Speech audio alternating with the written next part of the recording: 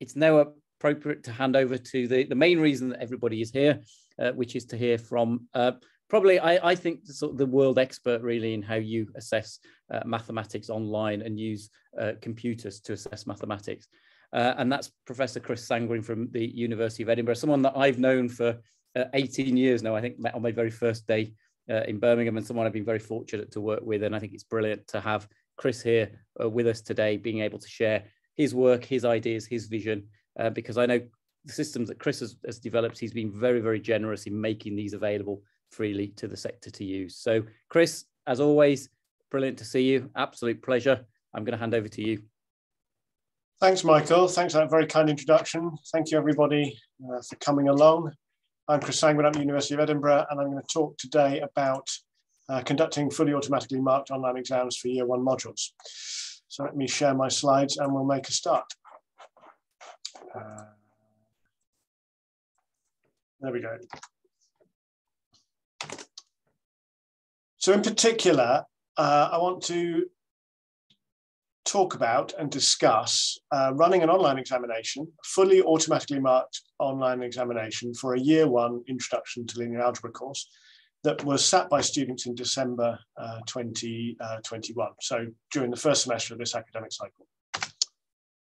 Um, I'm not in this talk going to talk about the importance of exams or otherwise. Um, there is a, there are two schools of thought in education. Uh, there is a traditional school that says we should have exams, and then there are other people that say uh, there are other ways to assess. So I'm just not going to talk about that. And I am not going to talk either about the subject requirements of mathematics in this debate. Uh, for example, we expect similar solutions to problems uh, in a way that in an essay subject you might not expect similar solutions. And so how that interacts with the broader debate about exams is a, is a topic I am not going to talk about at all. However, uh, this is a, a important and long-standing um, discussion. Tuckey, who was president of the Mathematical Association, chose that as his subject of his uh, presidential address in 1945 he had been a teacher for 20, 127 school terms, and he uh, he'd been a, a, chief examiner as well, and he makes some very interesting, if traditional, remarks about exams. And more broadly, Brereton's book, The Case for Examinations in 1944, is a whole discussion of examinations and their place in the educational landscape. And um, so for the curious who want to follow up those topics, there's a lot about it, and that debate will, will continue, no doubt. And that's because exams matter. Um, they really matter. They matter to our students, they matter to the system. And if we replace exams with something else, projects we talked about project marking briefly before this talk. If we, if we replace it with other things, then um, many of the issues, the difficult issues, will arise with other forms of assessment. Um, Geoffrey Howson's very famous book, A Mathematic, uh, History of the Mathematical, A History of Mathematics Education in England, um, contains a really interesting discussion about how school exams have evolved and the role they play in driving education and the interface between schools and universities and how exams have uh, shaped and influenced that. And uh, as we think about our final year exams and what we're trying to achieve and um, how we mark those exams and what we look for and so on, and what employers expect us to do, um, those debates are just as important at the end of university careers as they are at the uh, school university interface. Okay, so I'm not just not going to discuss any of that today. And I'm not going to talk about impersonation, plagiarism, or um, cheating, because um, it has nothing to do with mathematics, really. Other than, it, you know, we expect similar solutions, so you know that's that's that's a problem for our subject. Um, I, am not going to discuss this other than to say that it matters a lot. And it matters a lot because 99% or more of our students are decent and honest young, decent and honest young people. And we have a duty of care to them. Uh, we owe them um, the care to take that seriously and to deal with it and not to turn a blind eye to it and to build systems which discourage, prevent, and uh, punish uh, those people that cheat. So again, I'm not, I've got no easy answers to that. I'm not going to pretend I do. Uh, and so we're not going to talk about that. We're going to talk about conducting online exams. And I think online exams are inevitable. Um, and they're not novel. Um, in this country, Scotland, people were doing online exams in schools uh, right from the start of the century. Cliff Beevers and his group at Heriot Watt with the Pass It project were running exams in all sorts of subjects online in classrooms. Uh, and it's quite interesting. So this isn't really very novel, actually. It, it may be novel for us individually, but it, uh, overall it's not. It's not that big a deal. Um, and so uh, why do I think they're inevitable? I think they're inevitable because young people have stopped writing. And particularly in subjects like English and, uh, and humanities, they, they don't write essays, they type them. And, and I think it will be inevitable these exams move online. Um, so I'm not advocating for online examinations at all, but I want to understand how that changes things. I want to understand what will change because uh, it changes the way you express yourself and it changes the kinds of questions we can we can um, author and we can assess and so on. So that's really the issue. The academic, the academic integrity of our own exams from our perspective of really testing the things we want to test. Okay, so I've been conducting online uh, assessments with software called Stack, which is an online assessment system. It's a question type for mathematics. And there are lots of these online assessment systems around. Um, they've been around again for, for a very long time. Stack generates random questions. Uh, the answers contain mathematical content, so the student types in some mathematical expression. The system will establish the mathematical properties of those answers, so typically algebraic equivalence with the correct answer. Uh, and in this case, we're using Maxima behind the scenes, it's a perfectly good computer algebra system. And on the basis of those properties that you establish, um, we can give various outcomes. So formative outcomes help the students improve on the task. Summative outcomes, exactly what we do in an exam, we record their achievement. And uh, behind the scenes, there's some statistics which help us evaluate the questions. Were those questions effective in seeking to establish the properties that we, we want? So we get feedback or a score, and then how we deal with those, the timing of releasing of those, and what we do with those is, of course, dependent on, on the purpose of the assessment. And we talk about online exams, so there will be no feedback during the assessment, and we will review everything carefully and uh, make sure that we have quality assured the marking and before we release the score to the students, kind of standard sort of thing. And Stack is software that I built. Um, and I've been working on this for nearly 20 years. Um, it's widely used, and I built it because assessment is the cornerstone of effective education we really need assessments that are worth teaching to. Um, that's a phrase that I have taken from Hugh Burkhardt at the Shell Centre and Malcolm Swan at the Shell Centre in Nottingham. Assessments worth teaching to and trying to um, write assessments, good assessments, that will help our students understand the subject. And secondly, why did I write this software? Well, I think we should take responsibility for our core business. And I am nervous at, uh, it, as a, I'm nervous on behalf of the whole sector if we buy in um, third party external things. And if we are not allowed, if we're not allowed because of licensing restrictions to adapt and improve and evaluate. Uh, so I think we really need to take responsibility for our core business.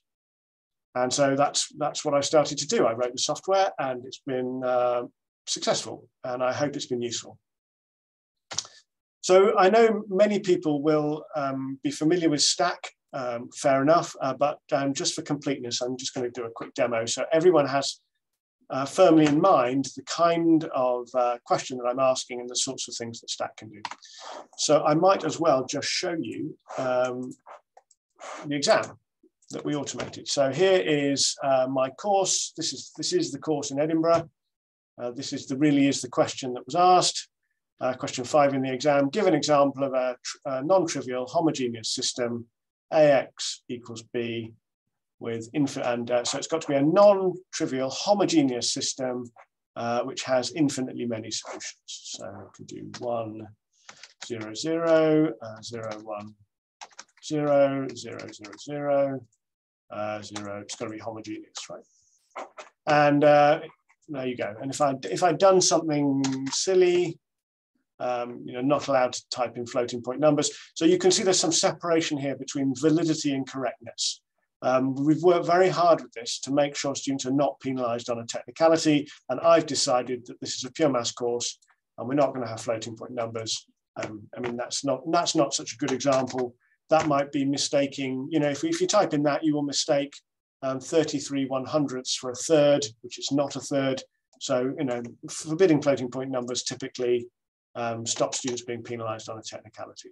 So in this kind of situation, um, there is no feedback uh, immediately. There's no button for feedback. You just finish your attempt and then uh, the, the marks will be released later. So inside the software, what we have is, um, uh, this is a kind of correct answer, gets one mark, and I expect it to get one mark. Here, I'm checking whether it's a homogeneous system. In a homogeneous system, the right-hand side should be zero. So this test case checks that that feedback is working, and it's a non-trivial, non-trivial solution. So if the student just types in zero, zero, zero, again, that's not permitted. So I'm giving them zero marks in both cases. Fair enough. Uh, and what did the students do with this question? Here are some of the statistics. Um, this is just a summary of all the answers. Uh, I'm not going to go through exactly what this means, but this illustrates the marking algorithm, and this shows us how many students, 447 um, students came down this branch of the marking algorithm, 349 students came down this branch of the marking algorithm, and so on, right? And uh, these are the marks that they got and all the rest of it. Um, surprisingly, only 52% of the students got this right. Um, 50 students did a kind of uh, sensible one zero zero zero one zero zero zero zero. So that's kind of pretty pretty sensible. And then you look at all the other correct things. I, I, don't think the students are copying each other. They're coming up with something themselves. And these are all the things that the system judged were, were correct, right? And then, of course, a good, a good number of students um, forgot what a homogeneous system is. So, you know, um, blah, blah, blah. Okay. So that is what we that's what we're up to. Um, and this is the problem that um, I'm trying to solve. I, have got a big first year class, like many people. Uh, we have big, big exams, um, big classes, and therefore big exams. And so in 2017, these were the papers that I had to mark before Christmas. I would acknowledge in Edinburgh, uh, we, for, for, for big first and second year courses, for these very big courses, um, we have team marking. So my job as course organizer is to oversee the marking process, but I do get help with my marking. And I think that is a fair and reasonable way to, um, to support staff on large courses to, to offer marking support. But nevertheless, it's a big job and, um, and uh, there, there it is. So this is the course, Introduction to Linear Algebra, ILA. It's a year one, semester one, 20 credit course. So our students have 120 credits per year. We typically have more than 600 students starting the course, and in 2017, 578 took that written exam. And in that year, it was 80% exam and 20% uh, for weekly courseworks, which um, included some stack quizzes, but some hand-ins as well. And I think this is a fairly typical setup for a, for a first year university maths course.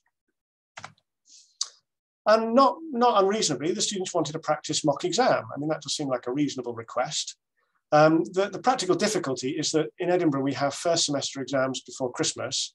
And it's not unusual for my course, because it's such a large course, to be early on in the exam period. Uh, sometimes the, the revision weekend's on the Friday, and there have been years where the exam is sat on the Monday. So there is absolutely no way that we can mark and return a mock exam to students, even during the revision week. That just, that just not really reasonable. Now, of course, the, with 600 students, the students have a weekly workshop of 10 to 12 students, and we have a team of tutors. But some tutors do a lot, and um, to, to sit a mock exam and, and give meaningful feedback would, would not really be possible, even with a team of tutors helping with the marking. So starting in 2017, quite some time ago, we, we did a, a pilot mock exam, um, uh, fully, fully online with Stack. And then we used that happily for two more years um, uh, till the pandemic came along. And, and in 2019, um, that forced us really to do a resit exam. August 2020, the resit exam was fully online and we just used a stack quiz. And given the state of play in, all, in the summer of 2020, with all, all that was going on in the world, um, we were generous. And our only goal really was to make sure that the students who had not passed the normal trouble-free December 2019 exam was to make sure that we had enough evidence to be satisfied that they could continue from year one to year two. And so we were generous and actually only 12 students took that. And I'm not going to talk about that further. But having had a, uh, some experience with the mock exam and having sat a reset, we then decided in uh, December 2020 to rearrange the course quite substantially.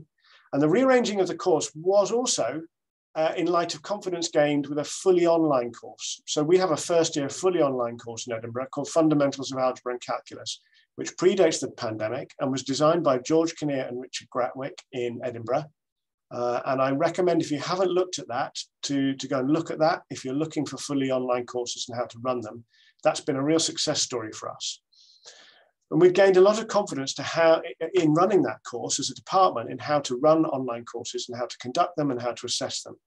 And so we rearranged the Introduction to Linear Algebra course in the summer of 2020, and we replaced the exam with a synoptic assessment, um, which was a single final assessment. It was a timed online assessment, and it contained a combination of stack questions and human marked questions. And then this year, uh, in December 2021, we continued that stack, that synoptic assessment. But this year, as an experiment, we, um, we made it stack only. So the goal of this experiment was to look at the extent to which we could design a final, fully automatically marked online assessment um, where we are asking questions which test the students, where I'm satisfied that I think we are properly assessing the course outcomes. Um, so let's look at the mock assessment first. Um, this was a practice exam for sure, uh, but it was likely to be taken seriously by the students because they'd asked for it. And the fact that there was no contribution to the grade probably means there's no incentive to cheat. And in Edinburgh for many years, we've had open book exams right? The written, the written exam is open book, even in a, an invigilated setting, which we've, we've had up until the last two years, we've had an invigilated setting. You can bring in textbooks, past exam papers, and any notes you can reasonably fit on your exam desk, right? So um, we, we've had open book exams for a very long time.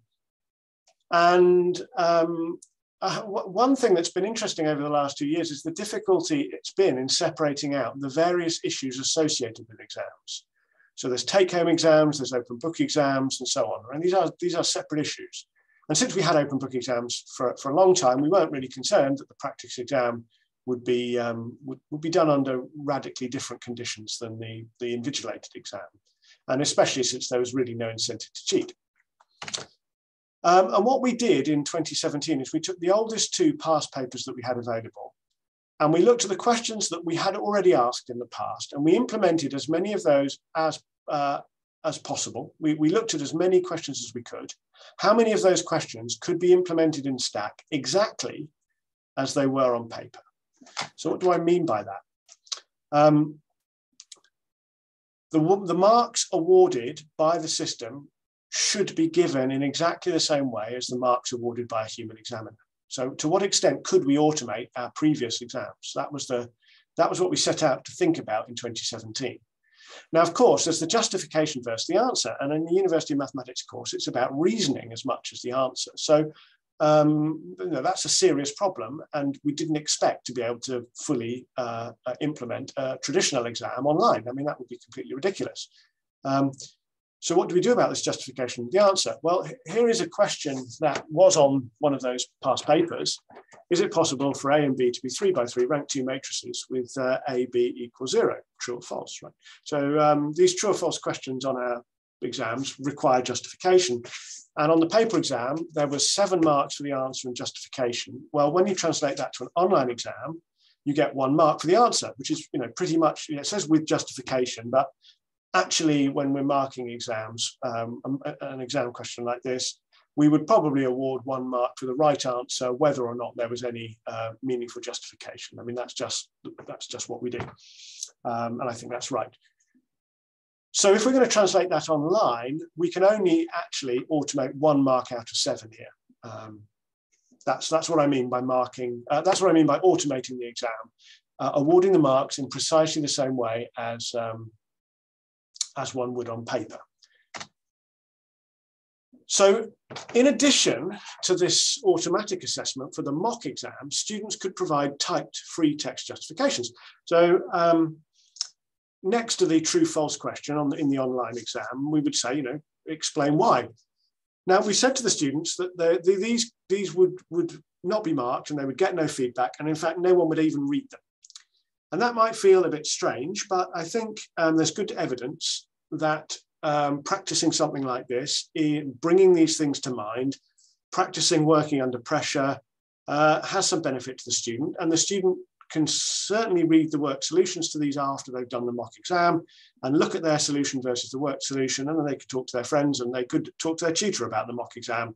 Um, although uh, sadly, that was rarely, we rarely got queries about that. Um, but they were certainly uh, welcome to contact their tutors. And um, and I was surprised at the extent to which the students would actually type justifications, knowing that nobody, uh, no, nobody apart from themselves would ever, would ever look at these things. So there were 240 marks available on the December 2011 and August 2012 papers. The oldest two papers I had available uh, as past papers. And it's 240 marks because we had a section B where there were four 20 mark questions and it was the best three out of four counted. So our exams had 120 marks available on them. And of those marks, 45% uh, we could automate, um, which I, I, have to say um, was surprisingly high uh, and um, I think says a lot about the nature of the questions that we ask. So we ask things that the computer can mark. Uh, we ask for mechanical processes, solving equations, and we award marks for the accuracy of those answers. So that means that we can uh, we could we could easily. Oh, I would also say I don't think my course is out of line either with other courses in Edinburgh or courses at other institutions where I've worked or other other institutions where I've looked at their exams. So uh, if you think that's high for a first year course, then um, and we can talk about that. Have a look at your own courses and see what marks are really awarded for. um, one of, one of my constant experiences with trying to put assessments online, as I said at the beginning of this talk, to understand the process of assessment, uh, is to understand the process of assessment through automation. And um, you know, when you're actually confronted with the fact that 45% of the marks for your questions are for entirely mechanical processes, that's a slightly sobering moment when you reflect on what you're what you're really doing. Anyway, uh, that does mean I had a, I had a hundred, uh, more than hundred marks from which I could create a quite decent mock exam. Uh, and bear in mind that a lot of these questions came with justify your answers. So the mock exam actually had significantly more than we would expect the students to do in a, in a, in a traditional exam. But little partial credit here, right? The mock exam didn't have a lot of partial credits in it. That's more complicated to automate. And so there were, you know, there, we, did, we didn't do too much of that in the mock exam. Um, a good proportion of the students took the mock exam. Two thirds of the students took the mock exam. There were no technical problems. Uh, the mean mark was 40, uh, 48% standard deviation.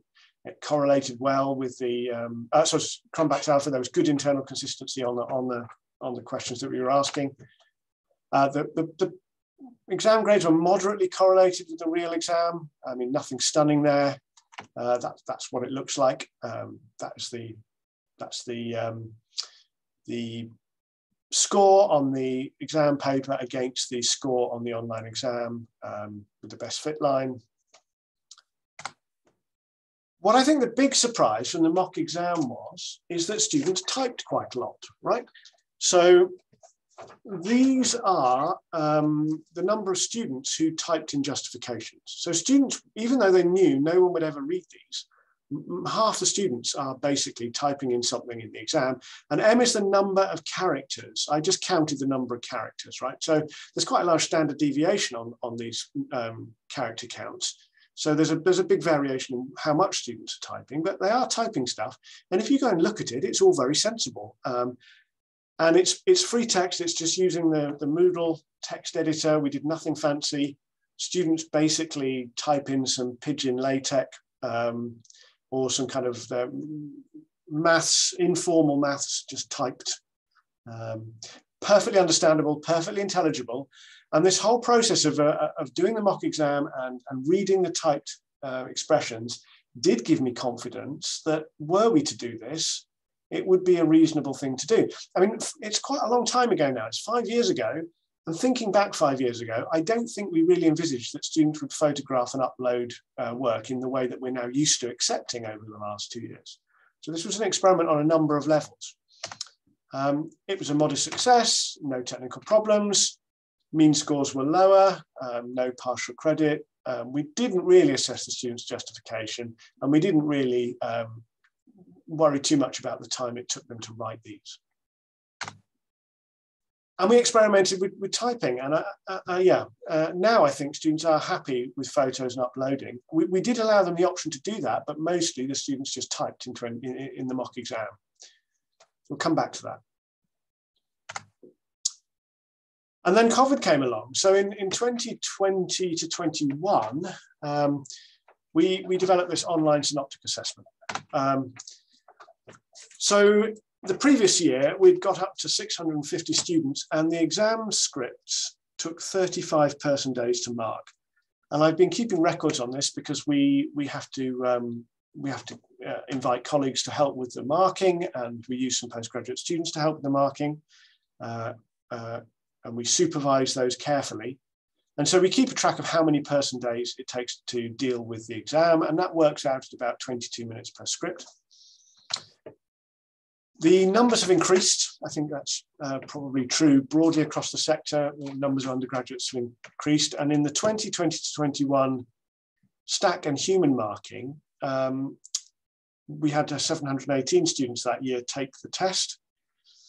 And that took 22 person days. So this combination of automatically assessing and, um, and human marking has reduced significantly the amount of human time it takes to deal with each script. So that is a substantial saving of staff time. Um, and then uh, this year, it took me two days to carefully review every typed answer um, and to add some partial credit and to uh, deal with the fully automatically marked quizzes. Uh, of course, all the effort is front loaded. Um, you have to write the stack quizzes and then you have to do the all, on, online assessment. And that, that takes a significant amount of time, much longer, I think, um, than just writing an exam. Uh, we'll, we'll, come back to that. That's something I want to discuss in a bit more detail. But there is a substantial staff saving here of around 50 person days, I think. If we go to 22 minutes per script, we've got a lot more, a lot more students, um, 45 to 50 days to, to deal with the exam in a traditional way. So the two days of dealing with that is for checking and awarding some partial credit for anticipated responses. So the advantage of not releasing immediate feedback and, uh, well, it's an exam, um, well, it's not an exam, it's a synoptic assessment, but it replaced the exam. And so the, the whole uh, synoptic assessment mark was then bundled with the coursework mark and approved by the exam board and was not released until the, uh, ex the exam board is, is, takes place in January.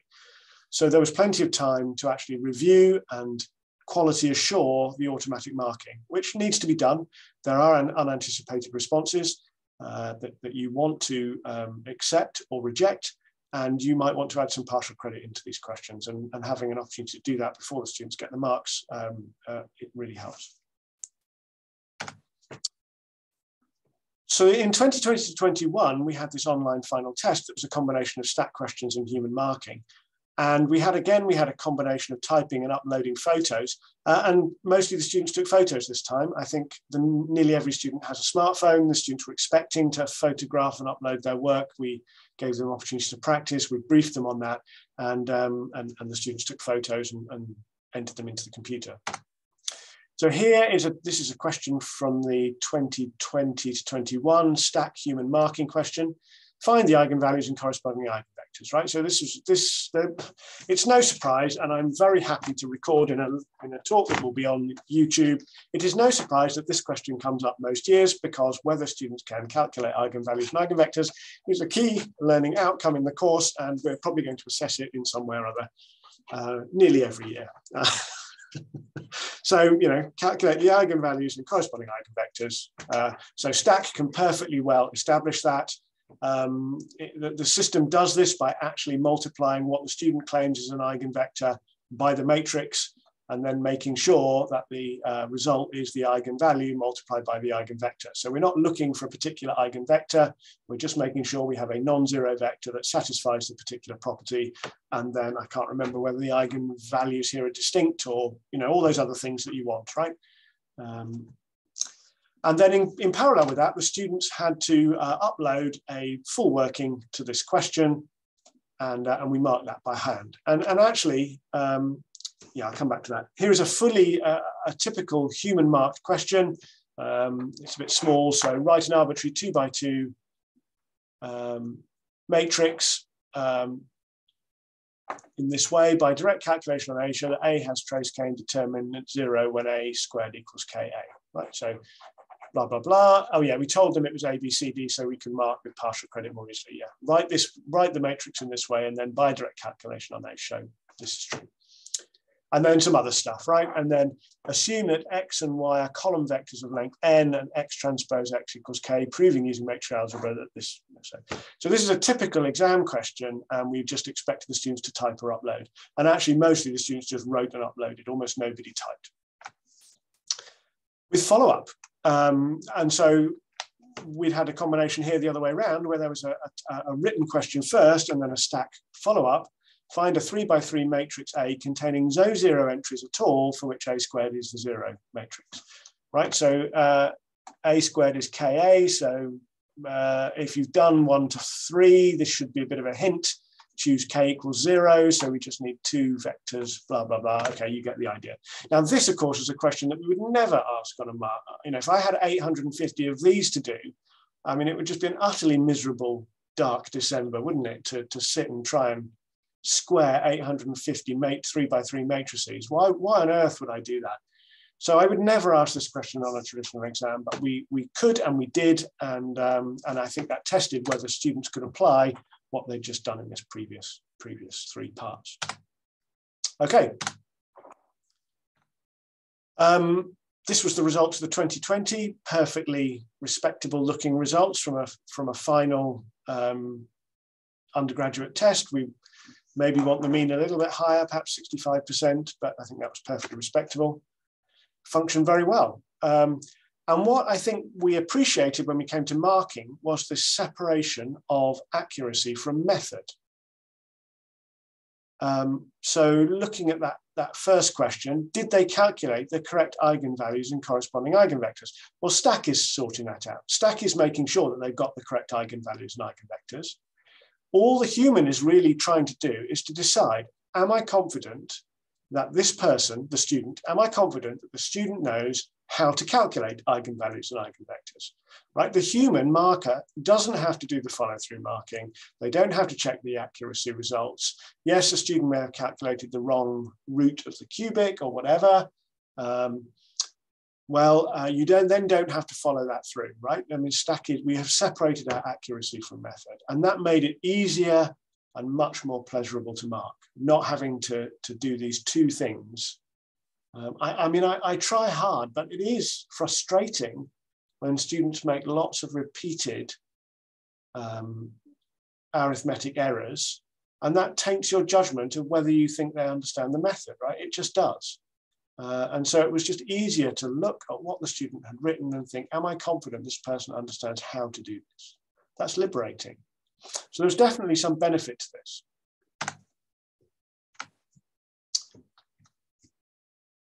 Okay, so this year we uh, experimented with a fully automatically marked test. Um, a mix of calculations and these conceptual true false multiple choice questions that um, like that, the very first one I showed you was seven marks. And then we had some other things. We had these kinds of give examples questions. Um, the, the, the, stack demo of the homogeneous system was, was one of those, and some proof-related questions, which I'll talk about in a moment. So here's the give me example question. This is a static slide of exactly the same thing I've uh, just shown you. And the proof were proof comprehensions. So proof comprehension is when we ask students about a proof um, rather than asking them to write a proof. And I think it turns out to be quite hard to write these questions. this is something I've um, turned my attention to in the last two or three years, uh, and it's tricky. It's very tricky to write these proof comprehension questions. Uh, they end up being a, uh, a, combination of multiple choice and stack. Um, so both of both of these input formats have their place here. Um, and this story started in 2019. Um, Dr. Bickerton, Robbie Bickerton, uh, who's also now a, a, member of staff in Edinburgh, we started thinking about this in 2019 and we had started writing a paper, which we published very quickly around April 2020, just as the pandemic came out. Uh, and everyone was moving things online. And as part of this, we, we wrote what we call this proof understanding baseline checklist. And this is a set of prompts, which I found very useful when I'm trying to decide what I want to ask students about a proof. So this checklist enables me to write questions about proofs. So which formal definitions, which notation are relevant to the proof, right? Do the students understand the definitions? Uh, can you describe the modular structure of the proof? So um, uh, if it's a, a, proof by exhaustive cases, are all the cases there and where are those cases? If it's an if and only if proof, where are the different directions proved? Uh, where are the hypotheses used? Uh, it, which examples do and do not satisfy the hypotheses? Um, you know, if there's more than one hypothesis for a theorem, um, do we have examples that satisfy every combination? And what happens if you have an example that doesn't satisfy one of the hypotheses? Where does the proof break? And all this kind of stuff. So this checklist was something that we wrote to try and help us um, uh, write questions, proof comprehension questions. And this is one of the proof comprehension questions from the, um, from the online exam. Um, we've got three linearly independent vectors, then the, the, the span, these two spans are the same. Um, so we define W to be the span of X plus Y, Y plus Z and Z plus X, and U to be the span of X, Y, Z, and, a, and then the student has to fill in the gaps, right? Now, I would typically use something like this in a formative setting because students don't understand the difference between set membership and subset, right? Um, but we, we, we, put this on the exam um, and um, yeah, it's a little bit sobering. There still seem to be students who don't understand the difference between set membership and subset and who don't read things carefully. um, so this was not a trivial question, um, disappointingly. Uh, there is some real work to do here, right? I mean, one direction is trivial, you just expand out the brackets. The other direction, uh, there is some work to do. And this is where the stack inputs come in can you actually show that um, uh, we have uh, we have these coefficients. So that's what we mean by kind of proof comprehension. This is a kind of filling in the gaps proof. And then we have proof comprehension, which is about the proof. So at one point in the proof, we assume that there are these three vectors. May we assume that A, B, C are not all zero? Well, why did I phrase it like that? Well, not all zero is basically to do with linear independence, whereas this question is about spans. So I'm trying to, to, to understand, I'm trying to test whether the students understand, are attuned to the difference between working with linear independence and working with spans. So that's what that, that question was all about. And um, uh, dimension, yeah, something about dimension. So there are three vectors and they're linearly independent, so uh, it's got to be at least a three-dimensional space. Uh, and then there were some questions that we couldn't ask, you know, I mean, where is the linear independence actually used? I mean, I, I added linear independence, so I could, I could, um, I could ask this follow-up question. I mean, is linear independence actually used in the proof? Uh, and if not, uh, is the theorem true for any vectors? right? I mean, and so on. So there are some things that we, we couldn't ask and automatically assess that I would have wanted to for this kind of question. Oh, and I should say for fairness, this is this kind of question, um, there are many ways to ask a question like this, and this is not the first time they, the, question asking students to determine if two spans are the same uh, has, has occurred on the, on the exam. So if you haven't seen this kind of question before, there are many variations where they are and are not equal for a variety of interesting different reasons. So this, this is, should not be a massive surprise in context of the, um, the corpus of previous exam papers for this course. Okay, so here are the results, 2021, December 2021 results. Yeah, I mean, it's a slightly higher mean standard deviation. We, you know, we were, we were generous. I think we needed one more proof comprehension question and uh, uh, some fewer predictable calculations, basically. Um, but that was kind of, that's okay. I don't, I don't feel too badly about that. We certainly didn't scale it. Uh, oh, spelling mistake there. Okay, I think that uh, behind all of this, writing good questions lies at the core of this, and writing questions which adapt to the format. Right, so there are constraints online that we're not used to in paper. Right, I mean, uh, writing proof comprehension questions is perfectly possible, and that adapts to the format. Right, um, but they're difficult, and I, I find them difficult. I haven't written enough of them. I haven't spent enough time thinking about that. Uh, but I think it deserves more attention. It deserves more attention online or in paper. There's some very interesting proof comprehension questions that you could put on a paper-based exam. Um, they would, yeah, they would, would not be out of place. And the give examples questions definitely have a valuable place, but I'm certainly not going to go back and put those on a paper exam when I've got 850 to mark. I mean, that would be awful. And let me just say for the record that I think a good question is one which differentiates between someone who understands the subject and someone who does not. That's what I mean by, by a good question. So in conclusion, it has taken us years to gain confidence. We started five years ago with a pilot online exam, and that pilot online exam went hand in hand with a serious attempt to evaluate and consider what questions we could mark exactly online, right? So we started with the traditional questions we were all happy with. But that said, the questions need to be designed for the format, and that format is different, right? Stack and computer aided assessment more generally are different. I think writing proof comprehension is difficult, uh, and I am developing uh, my style and some confidence in doing that. But any change, we're, you know, changing things is tricky. So yeah, we have to invest some time and be delighted to talk with other people about how we can design these, um, these kinds of questions.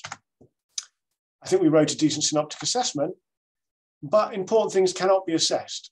So currently the synoptic assessment is 50% of the marks for the course. It's gone down from 80 to 50.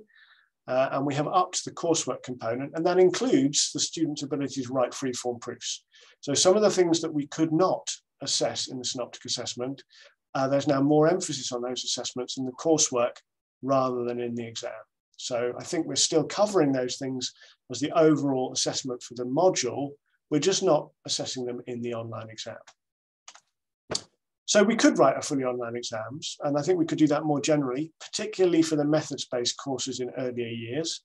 Um, but I think the semi-automatic approach is a sensible compromise, and I think that will give us a better coverage of the learning outcomes, and that's probably what we'll go back to for the next semester when we have uh, a, fully online exam, but it won't be fully automatically marked. We will go back and devote some staff time to marking students' written work that they upload during the exam. That seems like a good, good place to stop. So thank you.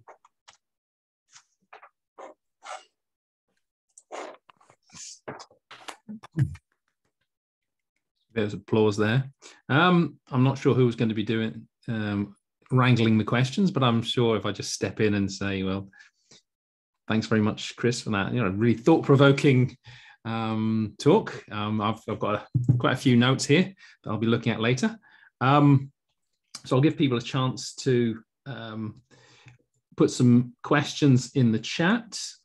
And I, I, should say, during lockdown, we you did actually do quite a few talks for for um, about stacks. So I'll, I'll, put a link for that in the uh, in the chat when I've got got a chance. So if you want to ask a question, um, you can see in the chat. You can also stick your hand up and uh, ask the question by turning on your microphone when we when we ask you to to do so. So there are some questions in the chat, Kevin. Andrew Burbanks has asked, could you number the question steps and then ask on which step is linearly independence used? Right, now, this is a big surprise. It is quite how difficult that is to do. And it's difficult for two reasons. Uh, sometimes there's genuine ambiguity about what used means. And often it's going from one step to another. So if you've taken a, you know, if you've used linear independence to get from step five to step six, is that five or is it six?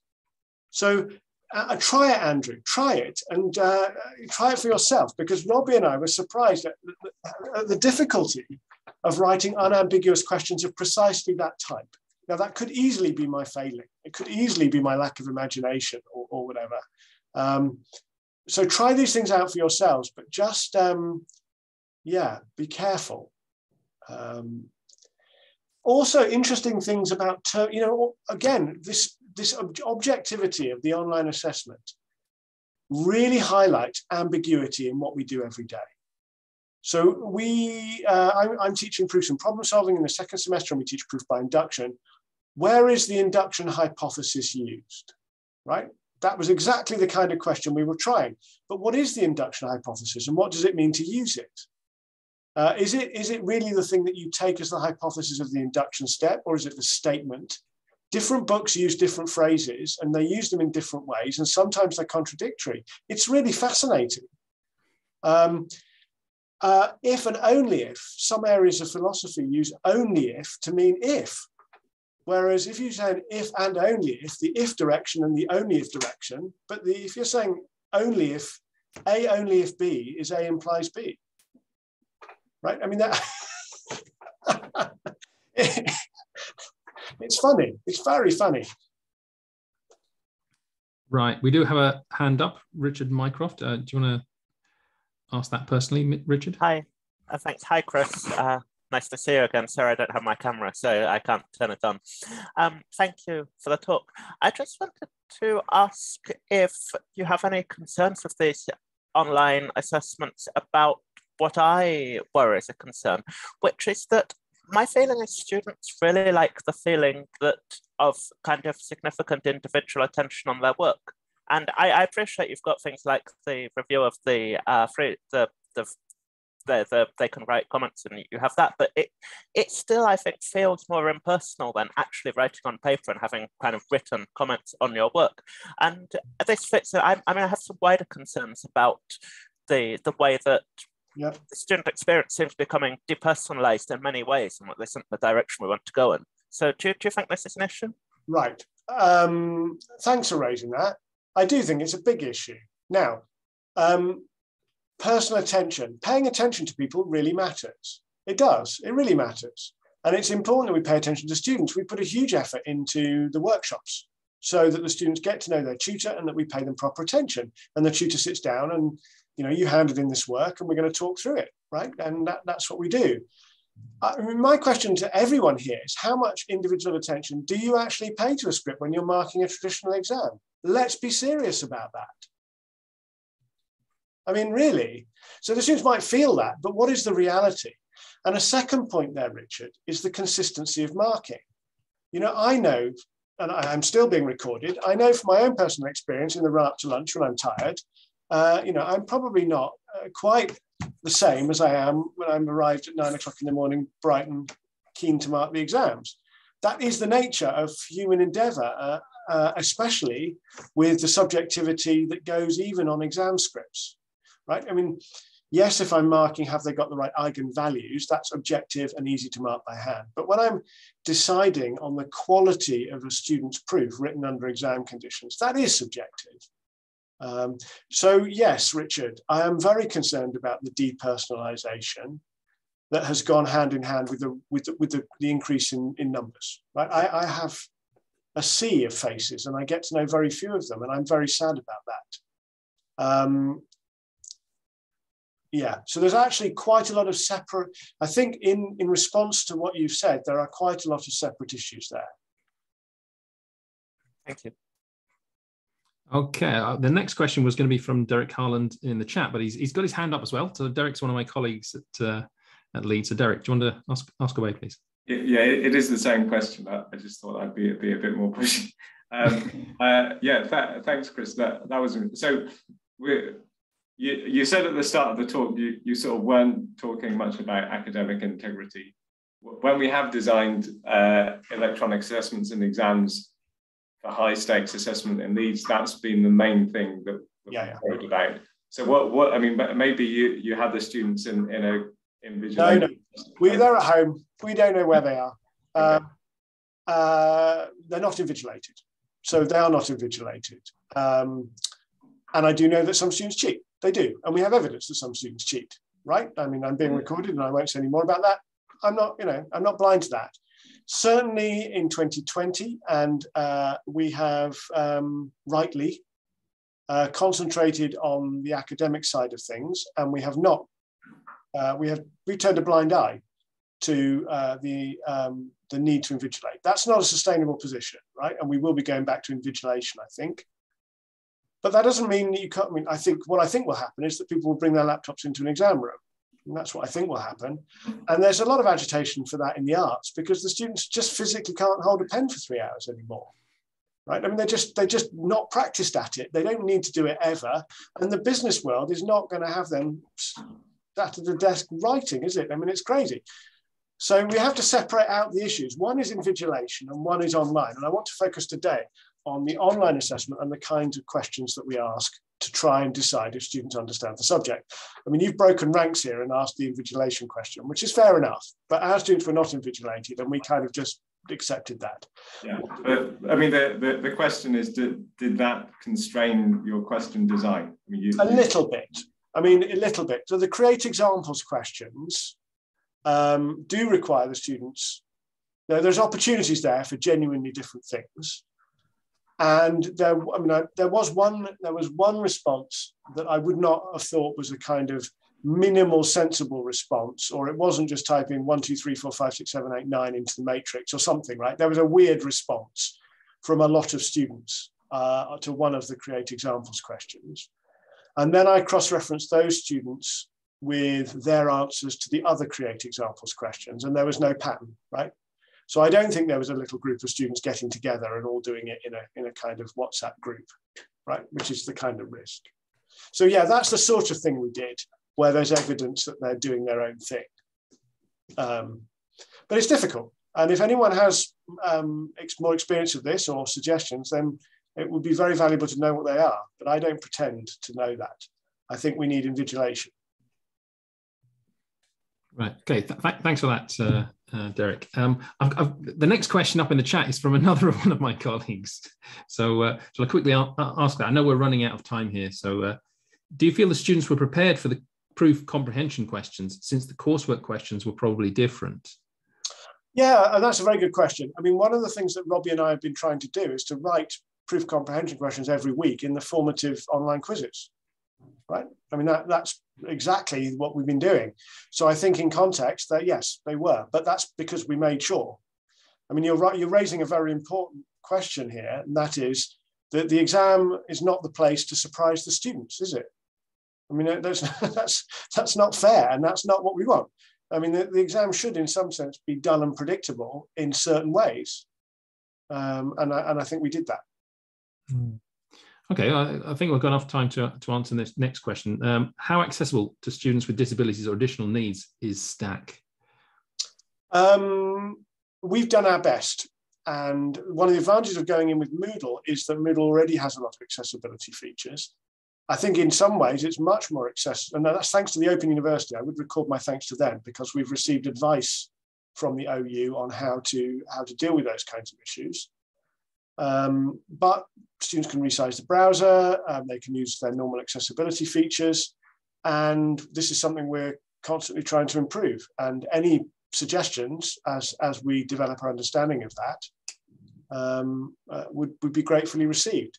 The, the Stack is part of Moodle, and Moodle already has lots of features for giving individuals extra time or second attempts or all, a whole range of things. I think the, the uh, range of editors um, the ability to upload or type. I mean, all of these things uh, give the individual choice uh, in how they view the script and how they respond. And that is usually aligned with good practice and accessibility as I understand it. No right. doubt you could do better.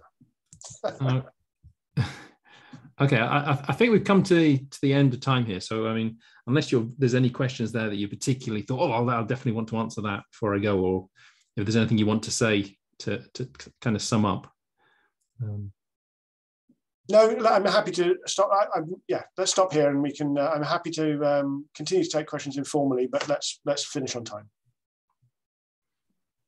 Right. Okay. Well, uh, thank you. Thank you very much. Can, can we all uh, a round of applause here? I think Um, I think the un, the OU unmute and applause. I think is, is what we normally do here, or should adopt here, Kevin. Right. Unmute and then make a make, make something the um, Another example of practice shamelessly stolen from the Open University. There. well, why not? Yes. So, um,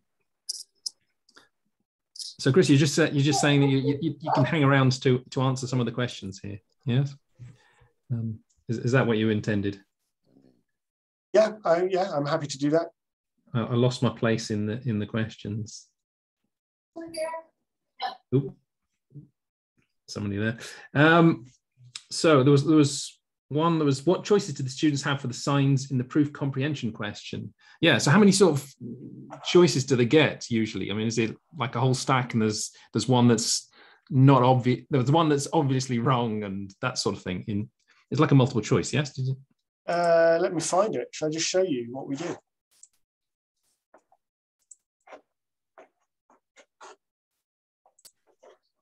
Uh, so this was a different one. I mean, this is a kind of which dot product rules make the proof work. Um, so, you know, u dot v is v dot u. So using the rule number, justify each line. Um, so there's that kind of thing. There was always, sometimes never. Where's that other proof Are we comprehension? seeing So- there? I- I'm seeing a text script here. Is Oh, this I see my wrong? slide tech. That's that is embarrassingly incompetent, isn't it? Uh, that was the tech, the script it's screen two that I wanted. Okay, sorry. If only we had a competent tech person here. Is that working? Not yet. Don't see anything being shared.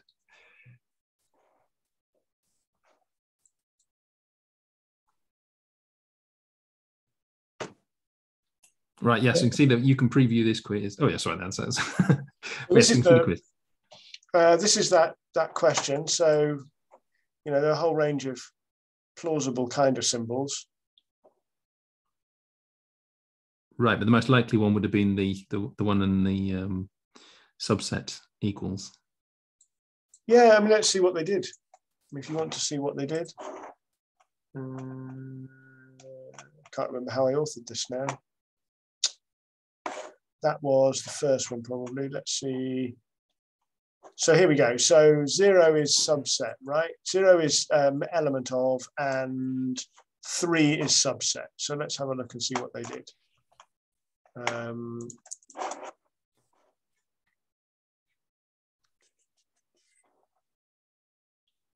Yeah, so 20% of the students got that first part wrong. Um, was it answer one? I can't remember which part. Of the problem is part of the. It was answer one. Okay. Right. So 16% of the students put subset rather than um, element of. Right. Yeah. even though it wasn't even though it wasn't the you know the first thing on the drop down they've actively chosen that so it was not a trivial question right i mean it was supposed to be a bit of a gift that's okay on the exam to have a few of those Uh, but it wasn't it wasn't a trivial it wasn't completely trivial Right. So it, it should, Kevin, I was going to say what I think we should do is I think we, we've had Chris's time for an hour, and Chris is probably wanting a cup of tea or, or, or something similar. So, I, I, Chris, are you happy if anyone's got particular things that they want to pick up offline? They drop you an email. Um, is that is that is that okay? Well, absolutely, yeah, and I, I would really value some discussion um, from other people. And this, uh, I'm in this for the long term for sure. You know, the, the the practice quiz was the practice mock exam has been around. We've used it five years now, so uh, and I think we're going to carry on with this kind of thing. And it would be interesting to see what other people are doing and what their views are. And then uh, I would be interested to, um, if someone else would like to run a talk on dealing with some of these more difficult issues, because that matters to all of us. The, the integrity of what we do matters.